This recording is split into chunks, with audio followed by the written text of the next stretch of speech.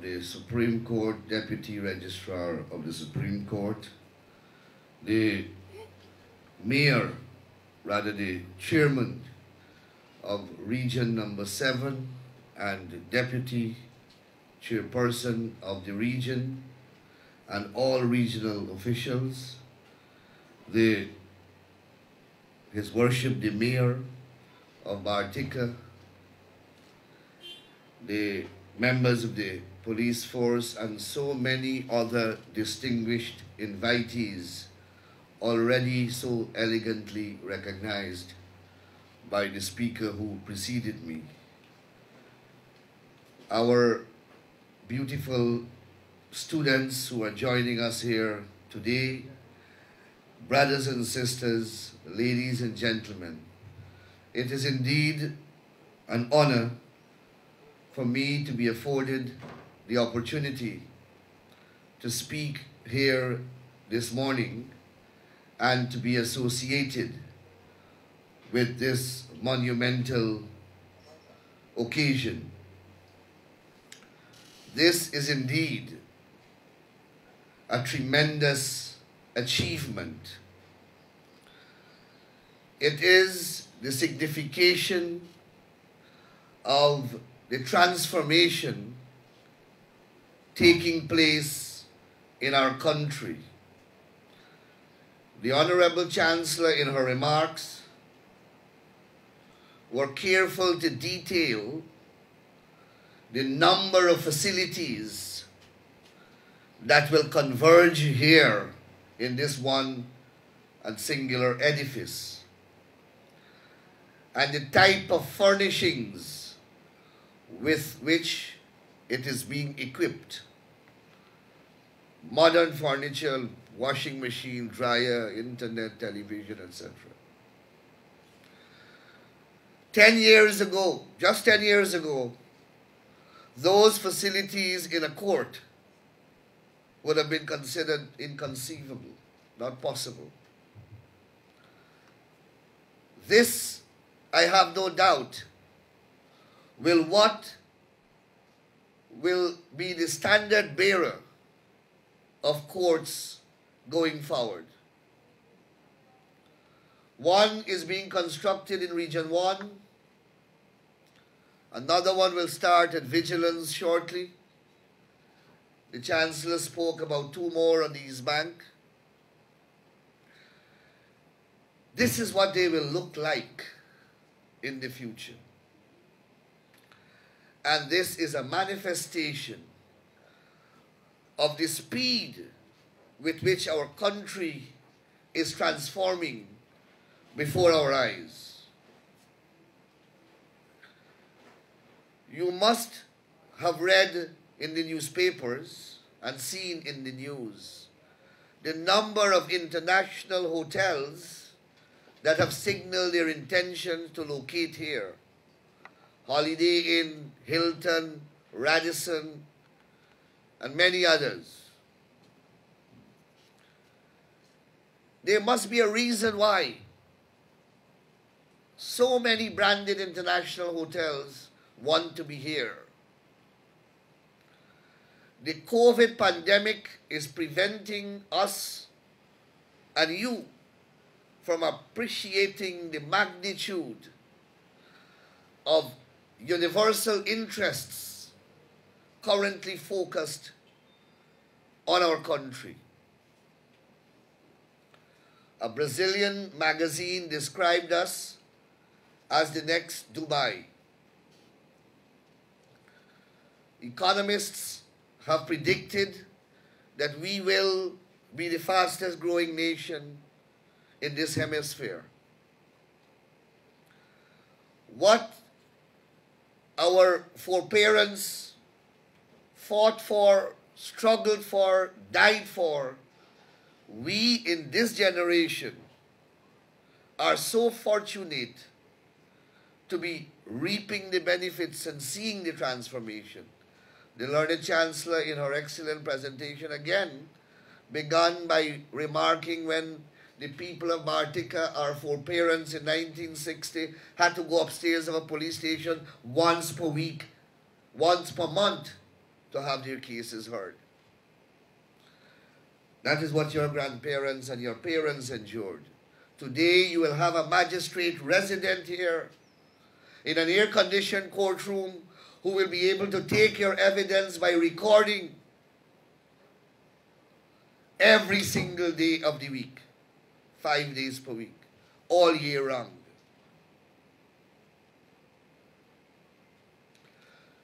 The judicial arm of the state is essential to us going forward as a country and as a people.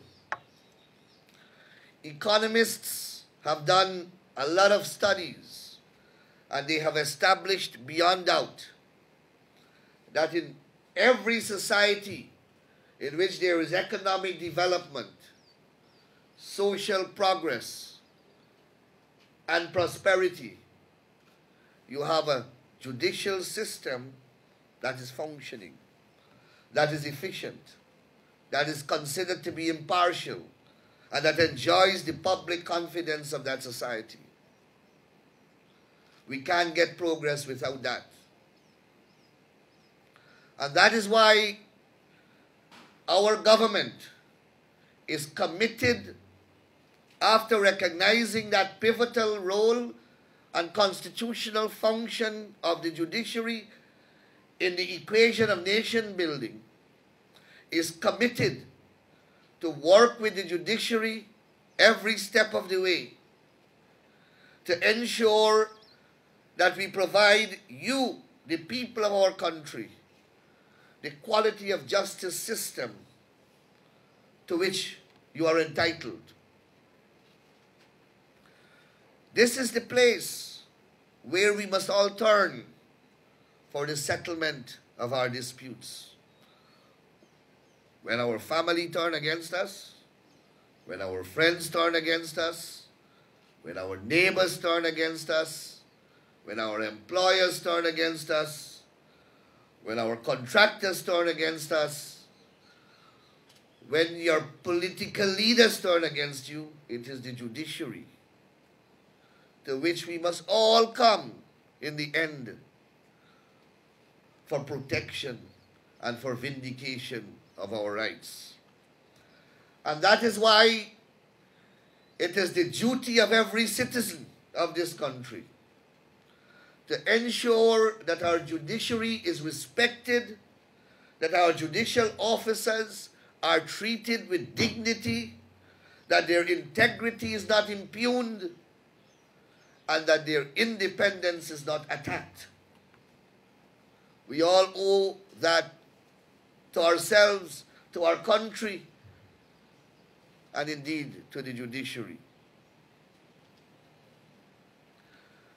Our government will continue to partner with the judiciary as we have done on so many occasions to improve the system for the benefit of our country.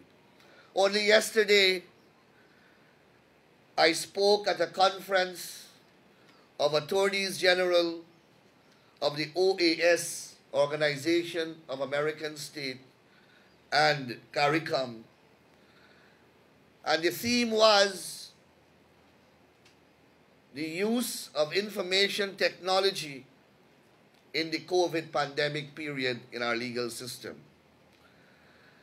And with pride, I outlined for that very August gathering the initiative that the judiciary and the executive have worked to establish in Guyana. And I speak of the over two dozen virtual courtrooms which we have built using containers and equipping with the requisite technological apparatus and have located them at the main prison centers of our country. The one at Mazaruni is currently being completed now. The containers are ready, but the contractors told me that they have to build a foundation upon which the containers must be rest, uh, will be rested. So that the prisoners don't have to come to the magistrate's court These centers are located in close proximity to the prison centers, these containers courts.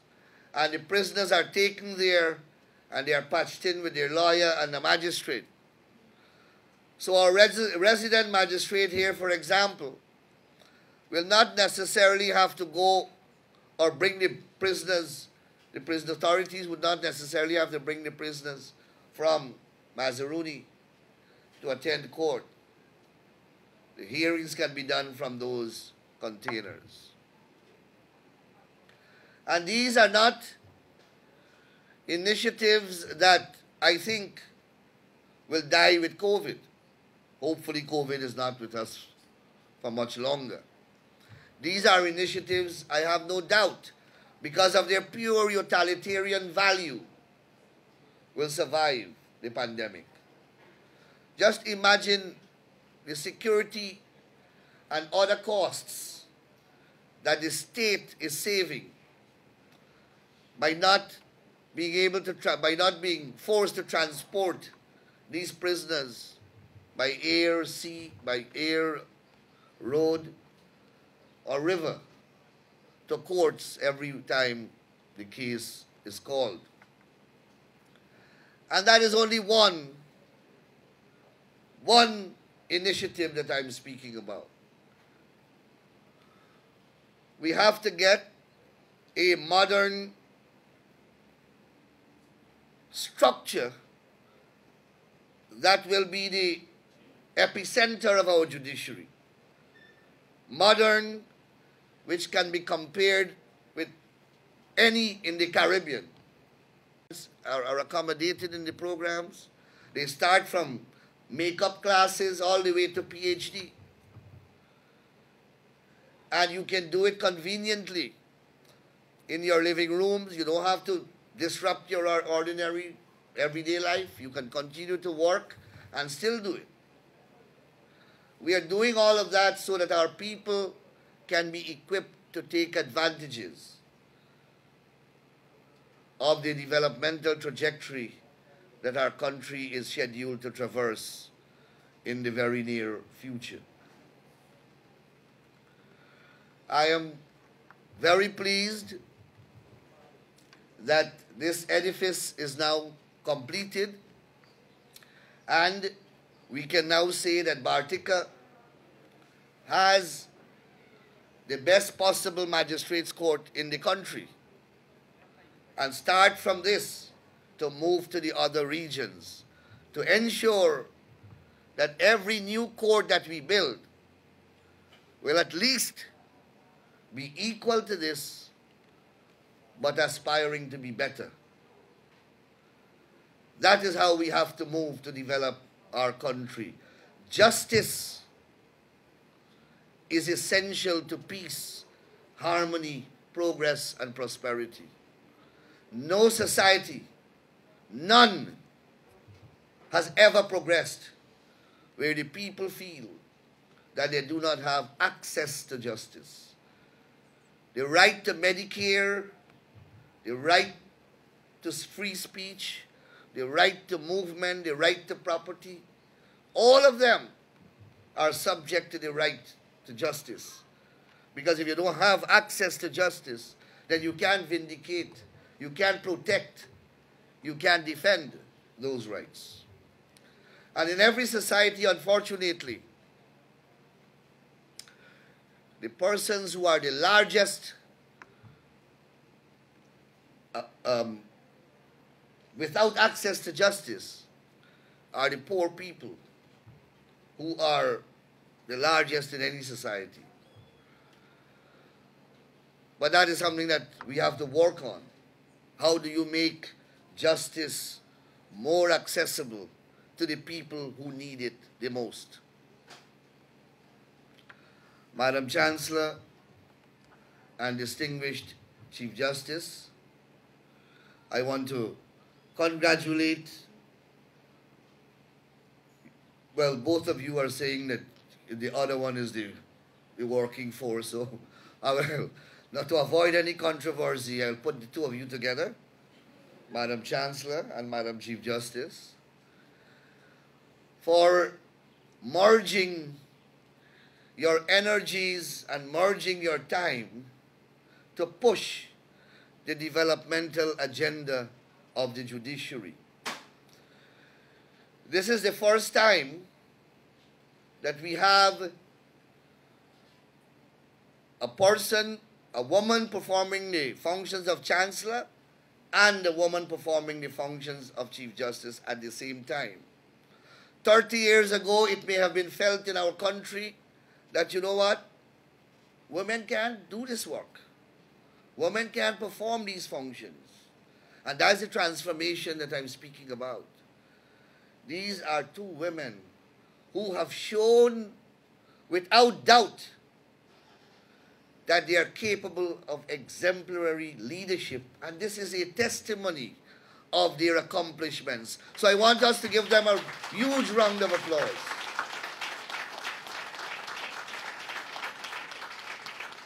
I also want to thank their backup team. No leader can succeed if he doesn't have a good team behind him. And Team Supreme, by name and nature, seem to be Team Supreme. And they have really acquitted themselves supremely in very adverse circumstances. And I want to salute them and congratulate them. And I want to congratulate all those who have directly or indirectly been part of this very, very pivotal and fundamental structure that we are here to celebrate. To the people of Bartica, I hope that you make the best use of these facilities. By now, you would have realized how special you are because nowhere in the country you can stay outside and hear from a mic when your case is called. Bartica will be the first court in Guyana's history, not even in Georgetown they have it, where that will be done. So you are indeed a very privileged set of people, and please ensure that you make the best use of this facility. Thank you very much, and please enjoy the rest of your day.